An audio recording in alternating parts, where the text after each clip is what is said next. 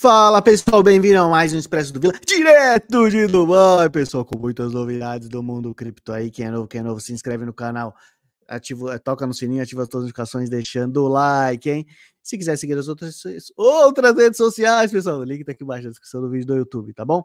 Bom, aqui a gente vê os últimos de 4 horas, né? O Bitcoin, o mercado como um todo, né? Reagindo bem, o Bitcoin crescendo mais de 2%, enfim, várias altcoins recuperando, algumas crescendo mais de 20%, mais de 30% até nos últimos dias, igual a Orca, a EOS, né? Voltando à casa dos próximos 80 centavos e muitas outras aí.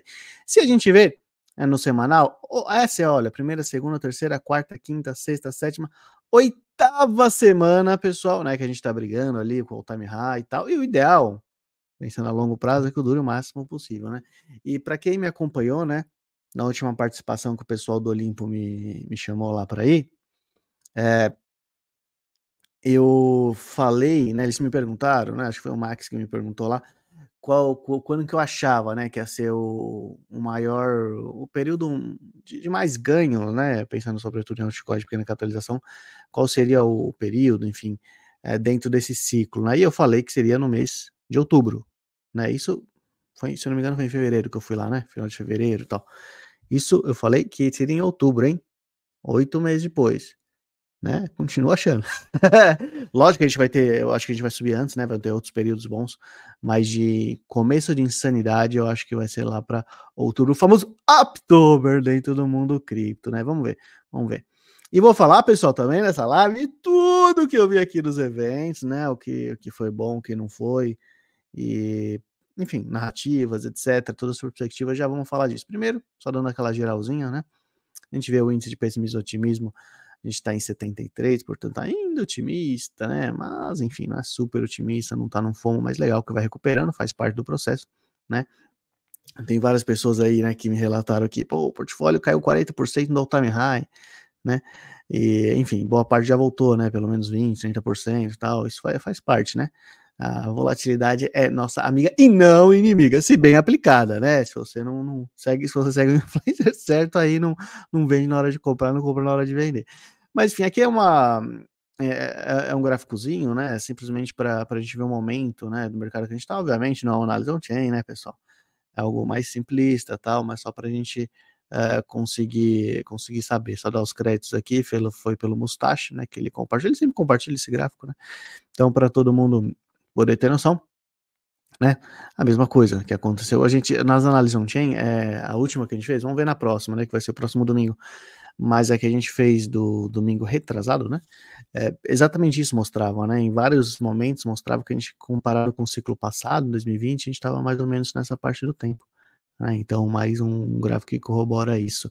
Não significa que vai em seguir, hein, pessoal? Né? No caso, esse aqui é que anda de três dias, né? Mas demora, as coisas demoram para acontecer, e mesmo, né? Para ter intensidade, aí tem um pullback violento, aí volta, né? Então, tem que saber, saber lidar com tudo isso. Antes, né, de, de falar sobre as coisas que aconteceram aqui no Dubai, falar primeiro de uma notícia da Suíça, né? Então, enfim, os, os fãs de Bitcoin, né? Entusiastas, chame como quiser, né? Eles querem, enfim, que o Banco Central né, da Suíça compre Bitcoin, né? E para eles conseguirem isso, eles precisam, assina, precisam ter assinatura de 100 mil pessoas numa petição em um período de 18 meses, né? Portanto, um ano e meio tal não é uma coisa fácil de conseguir, né? Então, vamos ver se eles vão conseguir. Eu acredito sinceramente que vão, né? Mas é, o, no caso específico da Suíça, né? A Suíça é conhecida pelo quê, né, pessoal? Nunca tem guerra, neutra, etc, né? É um porto seguro em vários sentidos. Bancário já foi mais, né? Mas, enfim, é, enfim, por diversas pressões hoje também não é tanto assim. Mas ainda assim é, né? Você tem algum, algum grau de privacidade. E nesse caso, né, a, como que eles vão ter uma neutralidade, vão ter uma soberania máxima, né, sem depender de um terceiro, sem que eles tenham uma moeda que seja neutra? Não tem como, né? Por mais que eles utilizem o franco suíço, depende da emissão no governo, etc. Pode ser suscetível a N problemas, de repente conflitos dentro da própria Europa, etc. A gente não sabe o futuro, né?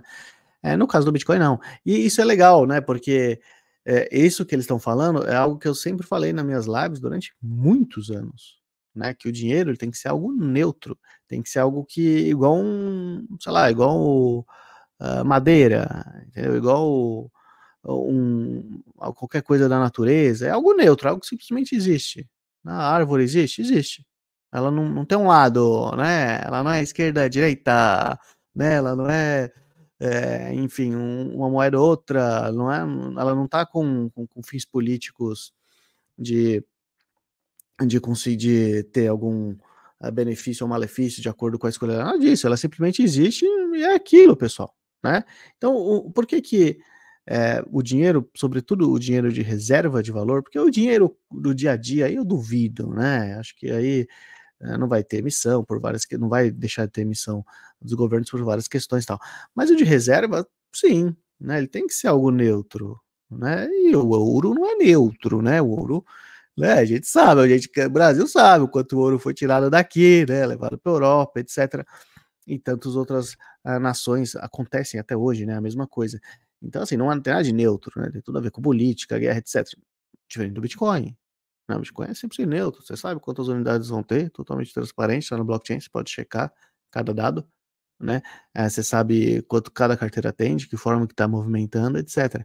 Então, uh, o, o, dinheiro tem que ter essa neutralidade, né, para ele poder ser mais resistente a guerras, resistente a, seja epidemias, ou seja lá o que for, a qualquer tipo de problema que uma determinada nação ou um conjunto delas possa vir a enfrentar. Então é bem legal, concordo com, com tudo isso, acho legal esse tipo de abordagem, né, como desculpa para comprar o Bitcoin, porque realmente, de fato é, e se tem um país que, que faria mais sentido que que eh, faria o maior sentido do mundo é a Suíça mesmo, né? Então tomara que dê certo aí, tá? Bom, a gente viu, né, que o halving aconteceu do Bitcoin, né? Então agora tem cerca de 450 unidades novas, né, mintadas por dia, metade do que tinha antes, portanto diminuir a inflação pela metade, tá? Lembrando, Bitcoin é um sistema inflacionário, não deflacionário. Cuidado com as besteiras que você ouve por aí. A gente vai falar, não, mas é limitado a 21 milhões. Então, é, então eu posso considerar que é deflacionário. Cara, deflacionário você tem que cair. Primeiro que você não está caindo. Ah, não, mas então não é inflacionário. Claro que é. Você está tendo uma inflação a ano. Só que você diminui pela metade a inflação, controlada, legal, bom, né? Mas é inflacionário. Você pôs um limite, não tira de ser inflação, amigo. É igual eu falar. Ah, não, então, vai, eu sou o Jeremy Powell aqui, vou chegar e falar: não, agora dólar, a gente vai ter um quatrilhão de dólares, tá? É o máximo. Aí tá, ah, que lindo, aí deixou de, de ter inflação. Aí eu posso dar dinheiro para que eu quiser, fazer o que eu quiser dentro desse montante máximo, aí deixou de ter inflação. Óbvio que não, né? Então cuidado com as besteiras que você ouve aí, hein, pessoal. Tem gente que quer defender um lado ou alguma coisa que não tem muito argumento e fala um monte de besteira, né? E as pessoas que não entendem muito acabam engolindo isso como acreditando como se fosse verdade. Cuidado, tá? Então aqui, pessoal, a respeito das uh, taxas, né, enfim, da rede do Bitcoin, é, que estão aumentando pra caramba, né, nesses últimos dias, decorrente do Runes, né? Eu já tinha falado para vocês várias vezes, até compartilhar aqui de novo, né, do Runes Terminal, que é o projeto que eu investi mais, hein, nessa narrativa. Runes, né, para quem não sabe, é, é, simplesmente uma solução, né, um concorrente do BRC20, do, de segunda camada do Bitcoin, que vai permitir com que tenham tokens fungíveis, né? Então, na prática, vai ser como qualquer outra ah, blockchain nesse sentido, né? Então, você não vai simplesmente. Uh, você não vai, porque no Coordinates ele, ele tem que ser vendido de forma unitária como se fosse um NFT, né? Um, um, um, um, não é token fungível. Então, acaba com que várias ações específicas sejam não sejam possíveis, né? Sobretudo de alavancagem de finanças descentralizadas, que a gente vai falar bastante com muito cuidado no decorrer aqui do, dos, dos próximos dos próximos das próximas tabs aqui. Então, uma coisinha que eu queria falar com vocês, né? Acabei de falar para vocês aqui da Runners Terminal, certo? Este aqui. E, e, duas coisas, até dar um zoom aqui maior em mim. Olha só, pessoal, desculpa aí, pessoal, mas tive que dar um zoom aqui maior para poder dar um recadinho para vocês, né? Muito importante sobre tudo que foi discutido aqui, etc. Né? Então, é, como eu acabei de mostrar, né, acho que uma das principais coisas foi Runes, né, em vários eventos, todo mundo falando de Runes, Runes, Runes, Runes e como estava justamente muito próximo do Heaven, né, é, acabaram que, enfim, isso acabou virando uma, uma narrativa até pelo momento, etc. Tal. né? Embora tudo esteja muito cru ainda. No caso da Runs Terminal, eles vão lançar só em maio, por exemplo, né? Mas, eh, então, assim, toma muito cuidado, né? Porque vai ter runs para tudo que é lado, vão ter os ganhadores, vão ter os que não vão ganhar. Então, tome cuidado com isso. Outro ponto. Ah, Vila, vamos supor, gostei da Runs Terminal igual você, legal, quero investir. Eu não sei, sabe, se eles vão fazer IDO, não, tenho essa informação ainda, né? Mas se eles forem fazer IDO tal, ah, então vou investir. Ah, pessoal, primeiro você tem que analisar, né? É toda a economia em volta e ver se vale a pena ou não, ver o seu round, né, ver o vesting, como eu acabei de, acabei de falar para vocês, quando eu acho que vai ser o pico do pico do bull, né, não o pico do pico, desculpa, não o preço o máximo do, do período, que eu acho que isso vai ser mais para frente, mas uh, a perna mais longa, né, que a gente vai crescer mais rápido, acabei de falar, acho que é outubro, né, então, muito provavelmente, né, se você comprar algo que tem o vesting muito ruim, você vai receber, puta, um cliff de seis meses, pô, Aí você já perdeu uma, uma, bela oportunidade, né? Tem um cliff de seis meses, você não sabe quando vai lançar, pode ser que em maio. Se o mercado estiver ruim em maio, eles vão adiar para junho, por exemplo.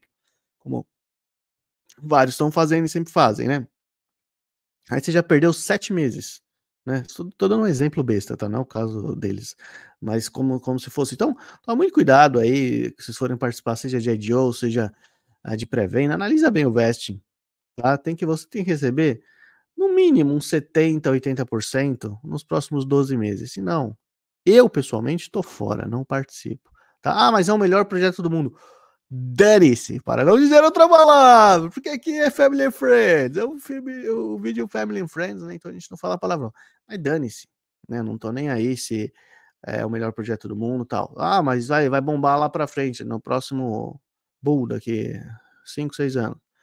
Bom, então tá, mas para frente eu vejo. Por esperar o preço cair lá embaixo, eu compro lá embaixo, né? De novo, não vou ficar fazendo planejamento a tão longo prazo assim, acho que não tem o menor sentido. É simplesmente uma perda de oportunidade, né?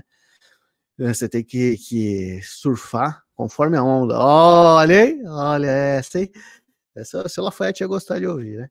Mas então tem que, enfim, conforme as coisas vão acontecendo, você vai fazendo, né? De acordo com, com o cenário macro. Então, tem essa questão de runs, tá? Isso vai junto com com race taking, né, que aqui obviamente muito falado, embora já seja óbvio, né, por causa da questão da Eigenlayer, etc, e vários uh, protocolos no topo dela. É, isso é tomar muito cuidado, pessoal, porque essas dos projetos prontos, tá? Eu tô falando, essas são as duas principais narrativas. Vão ter várias outras. Só que essas duas narrativas, de forma combinada, elas alavancam tudo, né? E tem um, ecossistema de, de, finanças descentralizadas no Bitcoin que nunca foi explorado, por mais que você tenha o Rapid Bitcoin, né? É, o, o RainBTC também, entre outros aí. Mas pouco foi explorado, né? Não, não é muito utilizado, né? E agora muito provavelmente será. Tá? Então, o que eu quero dizer com isso? Para os coraçõezinhos tomarem muito cuidado nas escolhas de investimentos, tá? Porque eu acredito que realmente a gente vai ter um super ciclo, vai ser algo totalmente insano, né? É, vai, vai crescer mais do que as pessoas esperam, mas nem tanto, tão mais. Por isso que tem que ser o ponto de saída muito inteligente, não achar que vai para sempre, não achar que ah, vou dar Bitcoin porque é a moeda do futuro, né? Quando for cair, pessoal, você tem que você tem que sair antes, no topo, né? Como como todo mundo, não vai querer é, colocar a crença acima do seu bolso, tá? Então toma muito cuidado com isso. É, tem, como eu falei, surfar conforme a onda, como diria Lafayette, né? Poeta. E, e, enfim, e por que que eu tô falando isso? Eu acho que vai ter esse super ciclo e a queda vai ser vertiginosamente rápida. Tá? Vai ser igual um abismo assim na vertical. Né? Então, é, tomar muito cuidado com isso, porque eh, por mais a gente tem agora de institucional, etc., tem ETF, spot, todo mundo sabe nos Estados Unidos, né? Eh, a gente, aliás, deixa eu até atualizar aqui o, o negócio do ETF Spot para ver se tem mais dados aqui. Vamos ver. Ah, a gente vai ter o ETF Spot, aliás, teve, né, aprovado de Hong Kong, vai entrar dinheiro chinês, obviamente. Vai ter o de Singapura, né, muito provavelmente até o final desse mês ainda. E vai ter o ETF Spot do Ether, muito provavelmente aprovado no mês que vem, em maio. Né, mesmo que seja adiado, vai ser aprovado ainda esse ano. Então, vai ter muito dinheiro que quando e esse dinheiro que eles chamam de smart money não é smart, o pessoal é burro, essa é a verdade. Se fosse smart, ele entrar lá atrás, né? Igual a gente entrou tal. E, e, e normalmente as pessoas vão perder dinheiro. Né? Não, não acho que investidor institucional, em geral, óbvio que há exceções, né? A gente é inteligente, mas em geral, ele é tão burro quanto o varejão do varejão, mas não sabe nada. Ele vai seguir o que o amigo dele fez. E uma prova disso, por exemplo, é o Zé Cassino aí. Não sei quem, quem, quem participou aí, eu não, não participei dessa, né? Por isso que nem compartilhei nada aqui. Mas tinha vários ventures capital grandes por trás e o cara deu rug pull em todo mundo. Não foi rug pull na prática, né? Porque não, não proveu liquidez, mas simplesmente, enfim, né? Acabou dando golpe aí em todo mundo, tal, muito provavelmente, né? Então, é, tomar cuidado com isso, né? Não achar que é porque, ah, não, mas eu, eles estão fazendo isso, então eu vou fazer isso também. Você tem que ser mais inteligente do que todos, né? E não igual.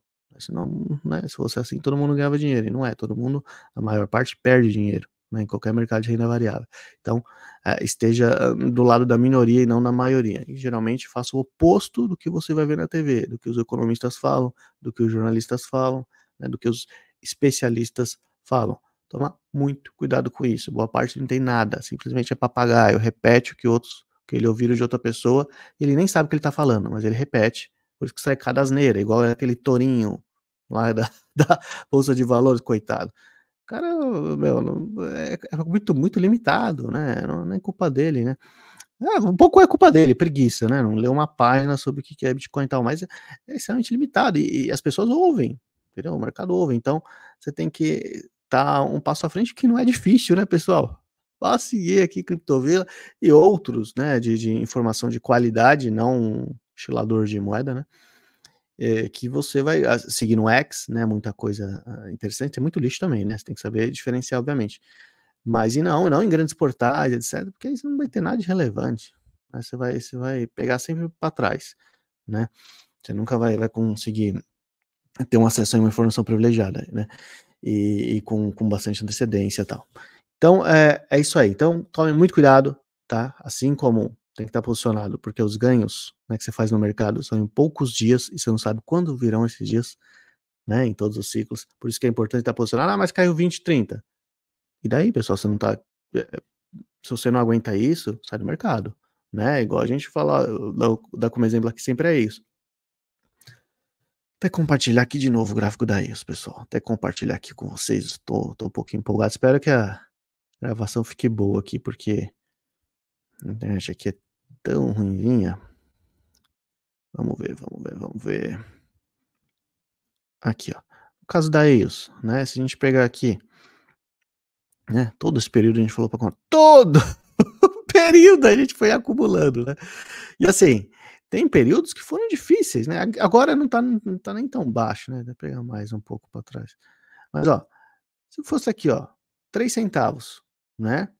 Ah, quem vê isso aqui fala, olha que fácil, ganha dinheiro fácil, né? Fez é, 30, 40x, depende do ponto, fez 80x. Ah, muito fácil, né? Você comprou aqui a 3 centavos. Porque você sabe que a longo prazo, né? Eu sei o que eles estão fazendo com isso. Aliás, um dos, uma das maiores honrarias da minha vida, né? Conheci o, o Herman pessoalmente, já tinha entrevistado ele aqui no canal, já tinha feito outras coisas com ele, conheci ele pessoalmente. Uma pessoa extremamente generosa, muito boa. Um abração aí pro Herman. E vou vê-lo novamente, talvez ainda esse ano, vamos ver, vamos ver. Mas aqui, pessoal, voltando, né? Eu falei, você comprou 3 centavos, né? O que teve de gente, né, que ficou falando besteira para mim, né, um monte de outras coisas, etc. Por quê? Porque ela caiu para um centavo. Então imagina, você perdeu 70% do valor.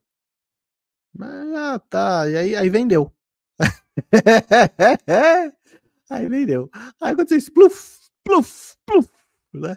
Então assim, é, se você não tivesse posicionado aqui, né? Talvez você não tivesse também se posicionado aqui, aqui. Aqui seria bom para você fazer o preço médio, né? Mas enfim.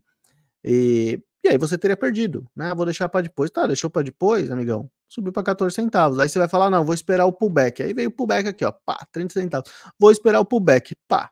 Em pouquíssimos dias, olha o que eu falei para vocês, em poucos dias são os maiores pumps. Né? Então, aqui do dia 5 até o dia 10, né? Portanto, quatro dias e pouco, né?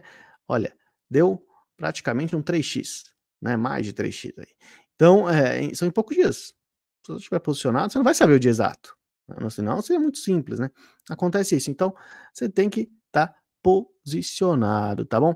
Então é isso aí, pessoal. Continuando, né? Sobre a Umoja, bom, eles adiaram aqui o IDO na Paid Ignition, não tem data ainda, né? Muito provavelmente vai ser em maio, tá falando aqui, mas sem data específica, né? E vão ajustar uh, o raise, né? O amount para um milhão e meio, né? Eu acho assim, eu acho que, sinceramente, eu, eu não faria isso, né? Pensando pelo lado da Page, tá? Não da Umoja, eu não faria isso. Eu faria, você quer diminuir? Diminui. Ah, mas não, não, ia adiar. Né? Tipo, adiar em cima da hora, um dia depois um dia antes, aliás, né, do, do snapshot. Eu acho assim, é, tem muita coisa. Uh, vocês sabem, obviamente, eu sou um, provavelmente um dos maiores holders aí, muita gente também, né, do, do token da page, mas é tem que melhorar a questão de tomada de decisão, né? Não é, não é só de comunicação. Comunicação acho que tem que melhorar muita coisa, sobretudo com influência que a gente tem informação depois que aconteceu, né? É, realmente é algo que, que diferente de antigamente. Mas uh, sobre essa questão de, de você é, tomar decisão muito em cima da hora, não dá, né, pessoal? Até porque assim, o mercado não tá em uma queda absurda, não é algo desse tipo tal. Isso pensando pelo lado da Page, mas não sei se foi a Page em si, né, que uh, tomou essa decisão. Obviamente, eles falam que tomaram juntos, tal, a gente não sabe. E o que tá claro para mim é que era, era round de pré-venda, tá? Isso é bom que se diga, não era de venda pública de fato, né? De, eles vão arrecadar um milhão e meio e vão utilizar outros launchpads, né? Para mim tá claro que isso aqui vai acontecer, não tá, é, enfim, tá aqui ó, falando permitir, diversificar alocações de token, deve ser isso. Uma outra coisa que pode ter acontecido, eles podem de repente ter vendido para um venture capital, outro venture capital esse valor aqui. Pode também ter ser, ser isso, né? Mas eu acho que não, acho que é simplesmente essa questão realmente de conseguir ter vários outros launchpads, já que a Page não vai dar conta do recado, né, para arrecadar 6 milhões uh, em uma tacada só. Eu acho que, que, que do lado, como eu falei, da Page eu não teria feito isso, né, acho que não tem problema ajustar isso aqui, mas acho até melhor, porque a probabilidade de concluir é maior, embora não tenha, tenha sido um, algo muito mal feito, né? O último jogo que eles fizeram na Metrópolis aí. Mas pô, a Umoji é outro nível de produto, né? Não dá para comparar com a Metrópolis, né? A Metrópolis, por exemplo, eu não participei, né? Isso aqui eu iria participar. Então são, são níveis diferentes. Acho que um milhão e meio conseguiria é, filar, mas enfim, né? esse adiamento aqui eu acho que não deveria ter feito, mas tudo bem, né? Se, se maio tiver bombando tudo, ah, vai arrecadar mais rápido vai arrecadar mais rápido, isso é verdade, né? Mas por outro lado aí também a listagem vai demorar mais e entra naquele, naquela questão que eu falei para vocês de análise de veste, né? Aí a análise vai ter que ser outra ali, muito mais próximo do lançamento para a gente ver se a gente vai entrar ou não. Vamos ver. Primeiro tem que ter uma data, né? É, aqui falando os ETFs, vamos ver. Hoje teve um volume interessante, pessoal. Né, em alguns momentos chegou a ter três vezes o a BlackRock o volume da Grayscale, né, pela primeira vez aí entre todos os dias. Agora, é, acabou com um pouco menos, né? Não chegou a três vezes e tal, mas tem um volume interessante. Isso aqui eu atualizei agora, né? Deixa eu ver. É, não teve, não teve atualização ainda. Então a gente não sabe, mas muito provavelmente, pelos volumes transacionados, vai ser um dia positivo. Vamos ficar de olho aí. Cadê, cadê, cadê? Partir já. Bom, acabei de falar para vocês, né, na questão do BTC, e eles estão aceitando agora o Rapid BTC, né, do BYOC. Então você vai poder utilizar ele também como gas, tá bom? Além do que já tem BNB, Ether e Matic, não lembro se tem mais alguma outra agora de cabeça. Que é o PIDAL. Bom, aqui é o PIDAL, né? entrando na narrativa, na narrativa que eu falei no início, né, da, da stream aqui, do vídeo. E, enfim, de você fazer o race tank. Se for fazer o race tank através da CapDAO para acumular pontos da Game Layer, pessoal, usa meu link aqui embaixo, tá bom? Se eu ganhar alguma coisa, vou fazer airdrop para vocês, tá? E peraí, pessoal, peraí, que tem uma coisinha aqui que por algum motivo não apareceu. Cadê, cadê, cadê, cadê, cadê, cadê? Deixa eu abrir aqui. E. Ah, tá, esse aqui, pessoal. É, vamos lá. Então, é, voltando aqui em questão, opa, até dar o like aqui, né? Questão da Commonwealth, vocês sabem, né? Eles também vão fazer o IDO lá na Petignition, então, em maio. E aqui eles vão estão fazendo, né? Enfim, o free moneyzinho, se você quiser participar, para ganhar 25 dólares em Wealth, tá? E você fala para eles por que, que você entrou na Commonwealth. Ah, é só você falar assim, porque o Criptovila, né, também tá lá, tal, então acho que pode ser um, um projeto bom a longo prazo.